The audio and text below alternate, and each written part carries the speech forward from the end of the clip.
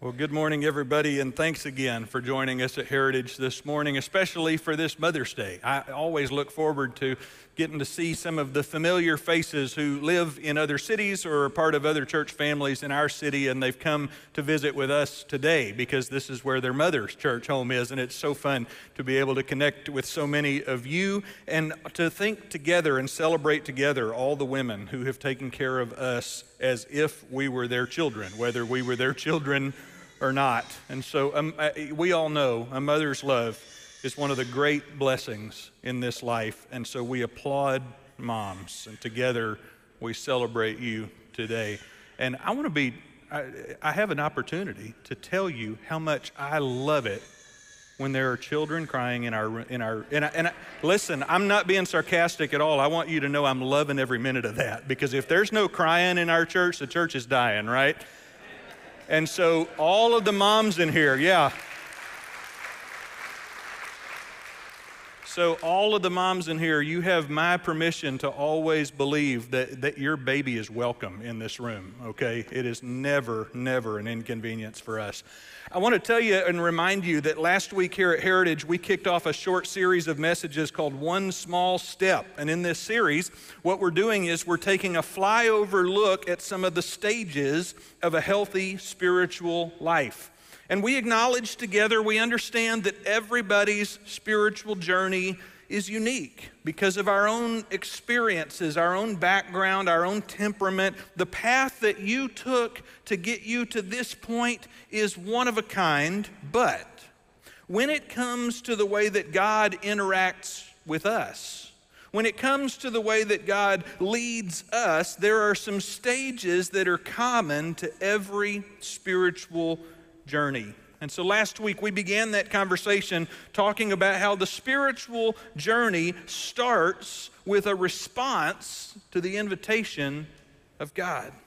We looked together at a, a, a, familiar story that maybe you've seen represented on the big screen. I was corrected, by the way, that uh, Prince of Egypt is not a Disney movie. Let, I had a few people let me know that's a DreamWorks picture, and I apologize for my mistake on that. But we looked at this story, this Old Testament story of the, from the book of Exodus, when God rescued the people of Israel from slavery in Egypt. And what happened in that story is that they experienced God's blessing first.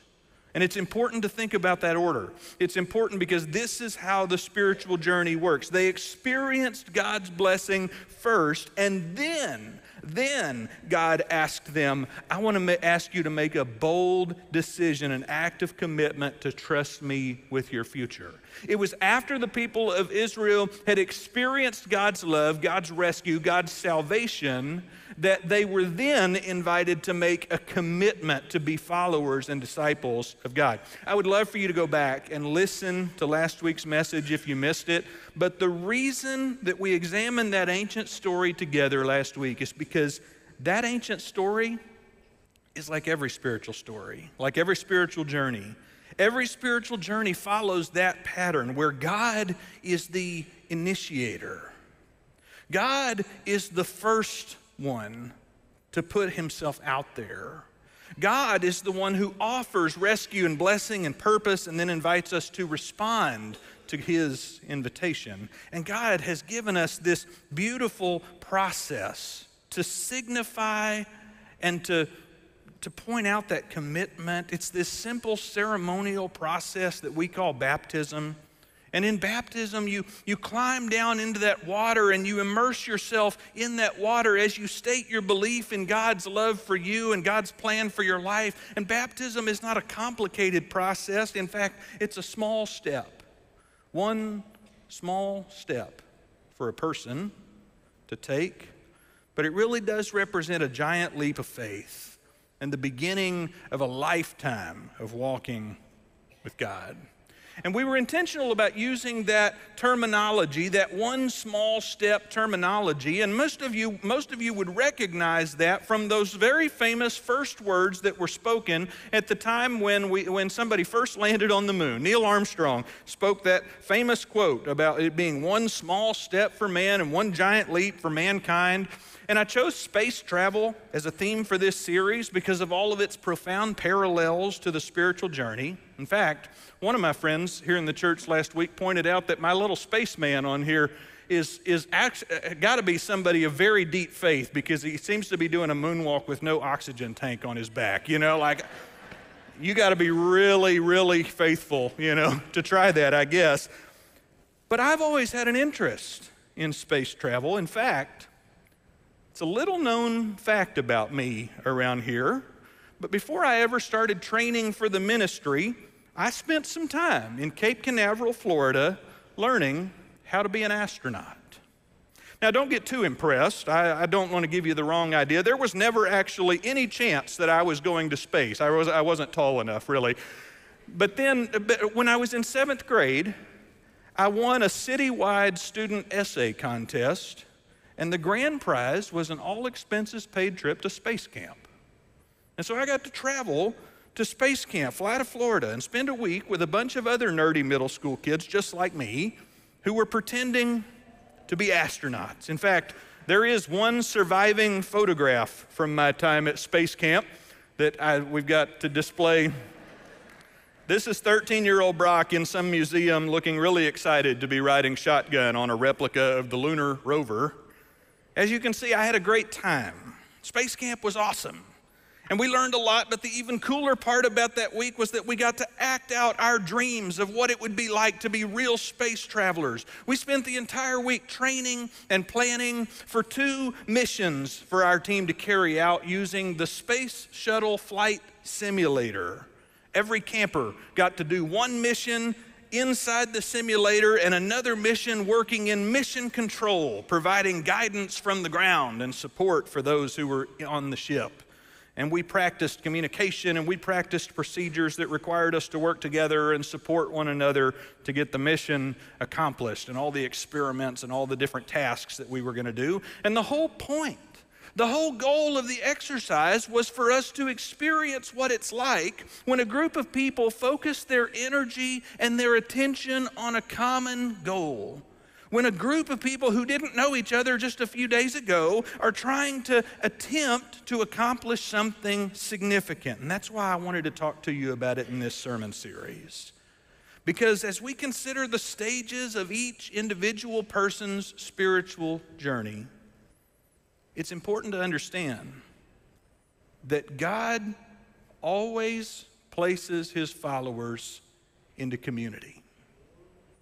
God places his followers into communities on purpose. And it's not simply a matter of being invited to a community or being welcomed into a community. The fact is that active participation in a community of disciples is one of those mile markers on a spiritual journey that God has planned for each and every one of us. Active participation with other people who are on this journey is part of what God has designed the spiritual journey to include. In fact, one of the incredible things about God's plan for us is the way that your unique faith has a unique opportunity to help me grow. And my unique faith has a unique opportunity to help you grow. And there are examples and encouragements about this throughout the pages of the Bible, but today I'd like to steer our attention together to the New Testament book of Ephesians. We're going to put these verses up on the screen today, but you're welcome to follow along with us because we're going to get a perspective of what this stage of the spiritual journey is supposed to look like and how this is supposed to work. You need to know that Ephesians is nothing more than a letter. It was a letter that was written over 1900 years ago by a missionary named Paul who traveled all over the Mediterranean rim, the same areas where Peter and Ria and some of our other missionary connections are working today. And at one point, Paul found himself sitting in a prison cell where he wrote this letter, this letter, Ephesians, to a group of Christians that he had taught in the city of Ephesus back in the early days of his ministry. But Christians, for centuries, ever since then, Christians have discovered that this letter helps us to understand and appreciate God better, too. And so it's valuable for you and for me. You see, in Ephesians, Paul's got a big vision of what church could be. In Ephesians, Paul is dreaming big. He's painting a big picture of what's possible in the community of faith by the power of the Holy Spirit. He says, God's love is too much for you to ever fully comprehend, for you to ever fully understand. There's no way that He could describe it to you because He hasn't been able to plumb its depths either. He says in the third chapter of this letter, though, He says, You'll never be able to fully comprehend God's love for you, but may you experience the love of Christ. He doesn't say, May you understand it all. That would be impossible. He says, May you experience it. May you experience the love of Christ that will convince you of its validity. May you experience the love of Christ that will convince you of its scope. May you experience something that's so much bigger than you that you can't help but give God glory for it. May you experience the love of Christ, though it is too great to understand fully. And this is Paul's hope. Paul's hope is that everybody he ever brought to faith, his students, his disciples, that they would be continually stepping into a deeper and deeper experience of the love of Christ so that their faith would be expanded. Last week we talked about those, those people of Israel who were taking those first steps out into the Red Sea. We talked about that young man in legendary Jewish folklore who was the first one to put his feet into the water and to walk towards the opposite shore, and the water kept rising up further up his legs and up his body, and finally he got to the point where he was having to swim, and then God parted the sea and brought the dry ground up to him. This is a picture of what Paul is envisioning for his disciples that we would be people who were constantly walking out deeper and deeper and deeper into the love of God. And so, this entire letter, this is what this is about. This whole letter of Ephesians is about how to grow in faith. And the passage that I want us to look at this morning is found in Ephesians chapter 4, the fourth chapter. Now, remember, chapters were inserted later. Paul didn't insert chapters when he was writing this thing, these were added later to help us find stuff easier. But in chapter 4, verse 1, Paul says, Therefore, I, a prisoner for serving the Lord, which tells us something. He's not in prison for having done anything wrong. He's in prison because he has, he has disturbed somebody else's peace by preaching this good news about Jesus. He says, I, a prisoner for serving the Lord, I beg you. Don't miss that word. It's not, I instruct you. And it's not, I encourage you. It's deeper than that. He's trying to tell you that your spiritual journey depends on what he's about to say. I'm begging you, if my teaching to you has meant anything, if my example to you has meant anything, if the intervention of Jesus in your life has meant anything, he says, I beg you to lead a life that's worthy of your calling, for you have been called by God. Now, listen for a second, because in English, it's so easy for us to hear that and think that Paul's talking to me. But I'm going to read it in Texan.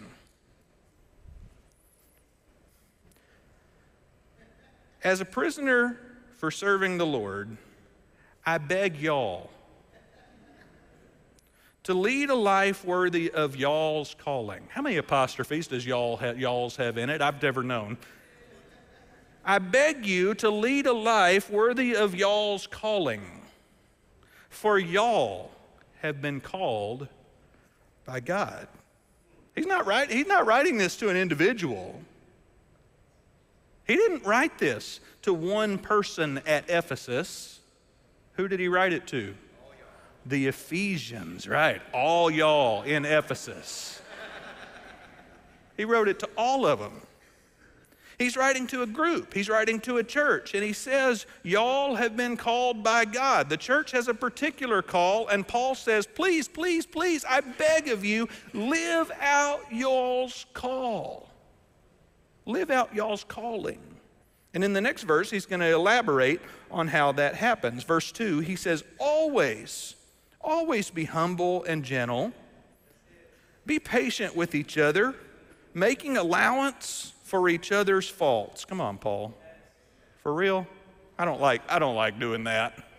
I do not like making allowance for other people's faults. You know when I like allowance for faults is when it's for my faults. He says, I want you to make allowance for each other's faults because of y'all's love.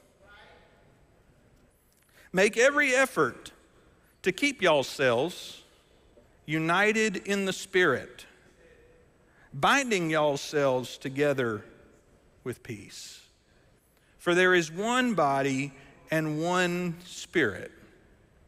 All right, you're listening to that, right? He says there's really only one. It's not a whole lot of scattered individuals. There's really one. There's one body.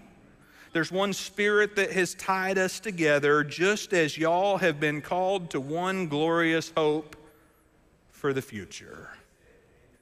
Now, that's not how it works everywhere, right? If you go about your day to day life, you probably, you might have noticed that there is a little bit of division among humans. Come on, I'm being sarcastic. You don't have to look hard at all to discover the brokenness and the division in the world that we live in, and we'll divide over virtually anything. We're divided over political views and nationality and race and religion and brand loyalty and political positions and everything in between. But Paul says it's different if you're a follower of Jesus. He says if you're the per- one of those people who has taken that one small step, who has decided, who has committed themselves, who has stepped into the water and said, I want to be a follower of Jesus. I would rather go with God than go back to what I used to be. If you're one of those people, Paul says, our love for one another is supposed to surpass every other factor that might divide us. Every other factor that might divide us. Whichever one you're thinking that I'm not talking about right now, I'm talking about that one. Every other factor that might divide us. Paul says our commitment to Jesus, our decision to step into the water, our love for one another should surpass every other factor because we have become part of the one body, the one community that Jesus formed when he called us. We're all heading in the same direction, we're all on the same team.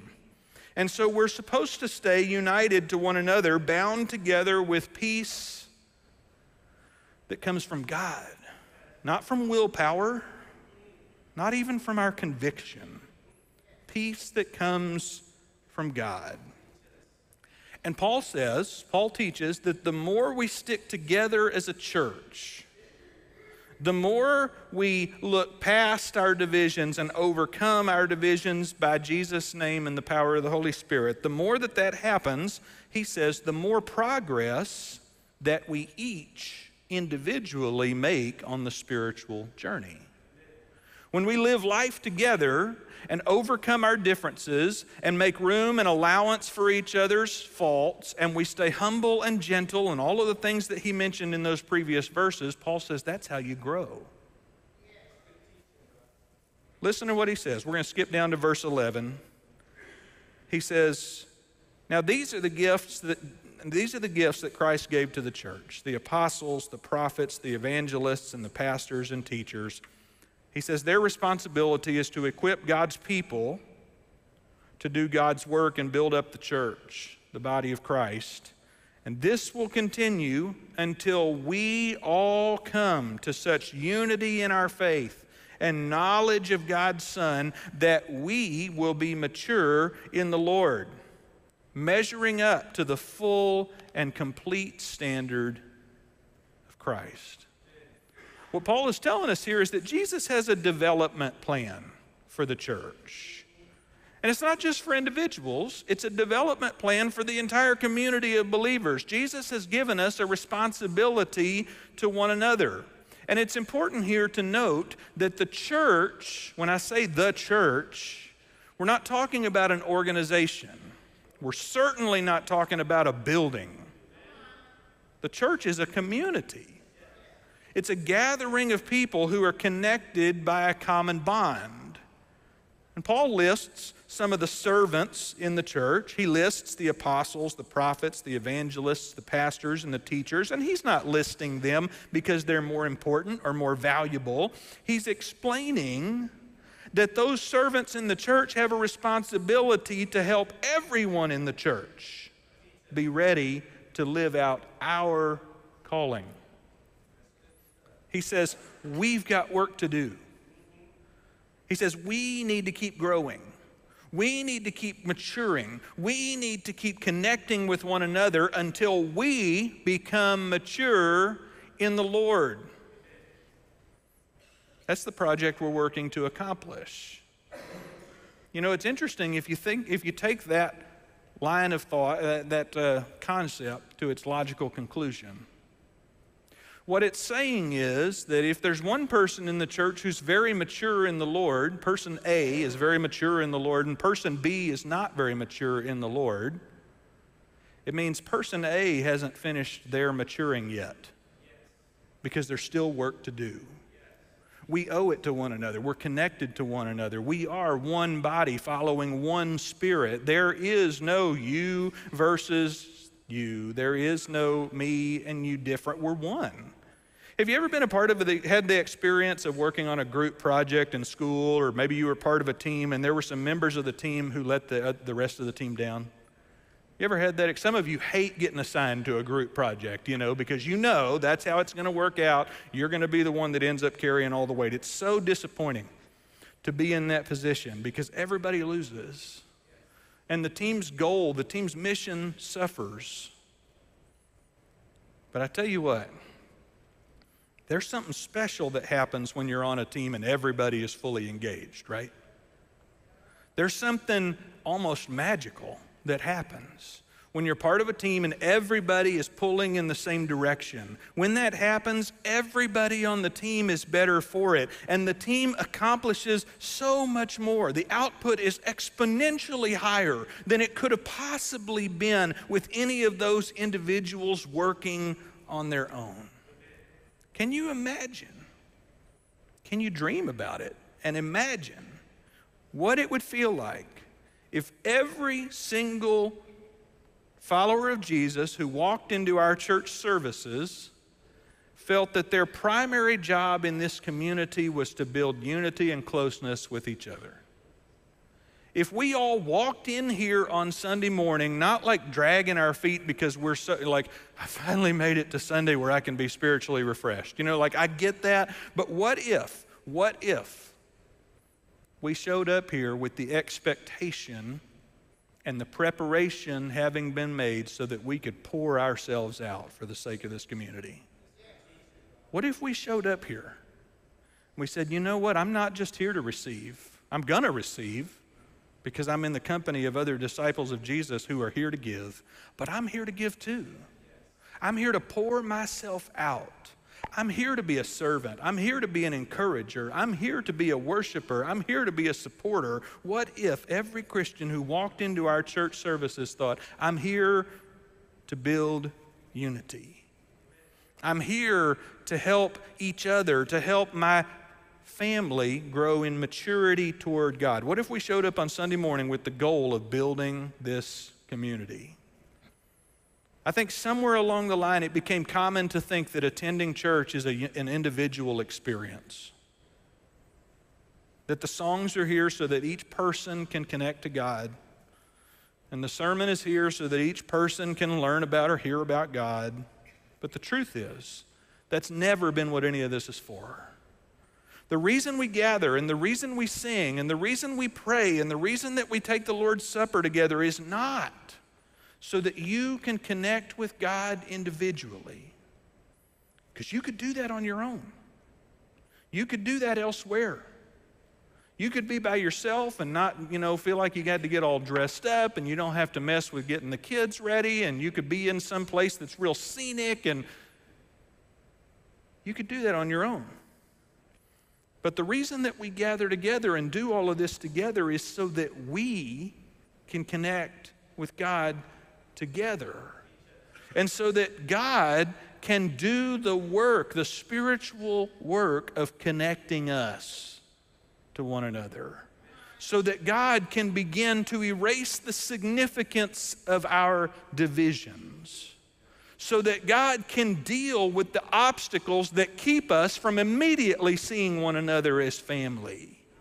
This is what God is doing among us. We're coming together so that together we can remember the one thing that we all have in common that outweighs all of our differences, and it's our, our calling to follow Jesus.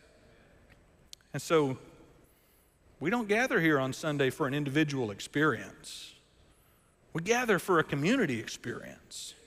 We're building unity with one another, which means that here in just a few minutes, it means that our work's not over when the closing prayer gets prayed or the closing song gets played.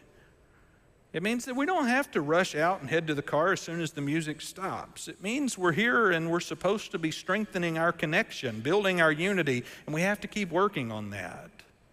In fact, in Christ, this is only, I'm going to tell you, there's no other community on the planet that does this. In Christ, we have the opportunity to celebrate our differences. To celebrate, which is an active verb, it doesn't just mean tolerate our differences. It means that we actively praise God for the diversity that exists among us.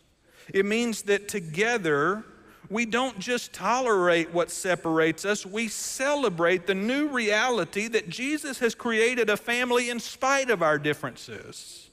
We rally around the one thing that binds us together. And Paul says if we'll do that, if we will look around the room and get to know one another and support one another in this spiritual life, if we'll walk together, if we'll care for one another despite how much differently we may think or believe or engage, he says, then, verse 14, then we will no longer be immature like children. That's a strong word. He says, then, after we have invested ourselves in community, after we have committed to being humble and gentle, after we have decided to allow for and make room for one another's faults, after we've committed to be patient with one another and celebrate our differences, he says, then we will no longer be immature like children. We won't be tossed and blown about by every wind of new teaching. We will not be influenced when people try to trick us with lies so clever that they sound like the truth. In other words, our life together, our life in community, our experience as a group, has a direct effect on our individual spiritual growth. This is what I'm trying to tell you that the spiritual journey that you have been called to take with God is not a journey that you take alone.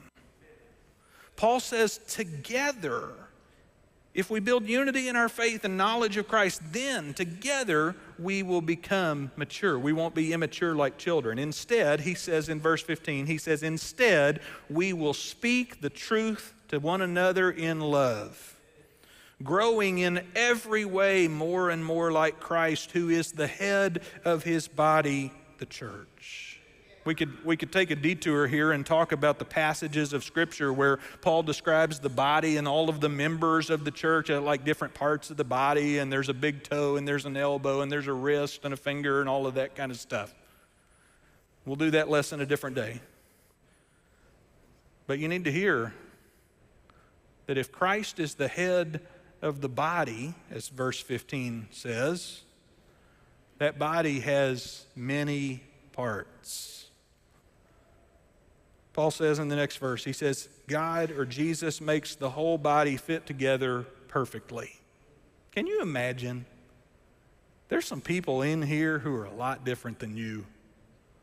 Boy, there's people in here who think different than you and talk different than you and live different than you and cook different than you and vote different than you and believe different than you. There's a lot of people in here who are really different than you. I even think there's probably like some Yankees fans in here. And said there's people in here that are way different than you.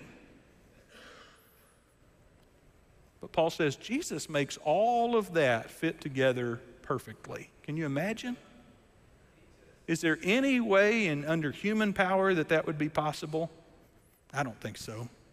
Paul says, as each part does its own special work, it helps the other parts to grow. As one member of the body does its own function and lives out the calling that it has, it helps the other parts of the body to grow so that the whole body is healthy and growing and full of love. What Paul is telling us here is that you need, not y'all, you need a faith centered community in order to experience your full spiritual potential. This journey that you have been invited to start, you need a faith centered community in order to reach the destination, in order to go where you're supposed to go. Faith is a group project, it's a team effort. And God has never called anyone to walk their faith journey alone. If you go alone, you won't get very far. You need your church family in order to get where God's calling you to go. But the opposite of that statement is also true. The faith centered community needs you in order to experience its full spiritual potential. This church family, our connection with each other will never be its, what, it, what it could be, never reach its full potential until all of us have decided to engage with one another. We depend on one another. We're in this together. It's a process of maturing, a process that won't be finished until we're so unified that we measure up to the standard of Jesus. And your spiritual growth your progress, your maturity depends on being part of a faith centered community. It depends on being part of the church. It depends on connection. And in the same breath, the church's spiritual maturity depends on being part of your journey, depends on being part of your life. It depends on being connected with you. This is how it's always been. You know, when those people of Israel that we talked about last week, when they stepped into the Red Sea, they were making a decision that they were going to trust in God's power and love together. And God parted the waters and they crossed the sea on dry ground and they were finally, finally totally free from the Egyptians who had ruled and abused them for so long. But when they got to the other shoreline, when they reached that moment of freedom and they stepped off the seafloor and onto the beach, they were in unfamiliar territory. They were in a desert. They had a long way to go. Can you imagine if they had all said, Well, that was amazing, see you later, and took off in their own separate directions across the desert? Can you imagine if they shook hands and parted ways and decided that each family would go their own way and figure out their own path? They didn't do that. They stayed together. They traveled together. They gathered food together. They worshiped together. They grew together. They had a common spiritual life, a common spiritual experience, a common engagement with God, and it all happened as they took their next steps with God together. And by the time they reached the other end of that desert, and there's a long story in between point A and point B there, but by the time they reached the other side of that desert, their communal faith had grown. And they had more confidence in God than they had ever had before because they watched and they reflected and they commemorated together what God had done among them and what God had done for them. We ought to do the same. We ought to remember and celebrate and commemorate together what God has done among us.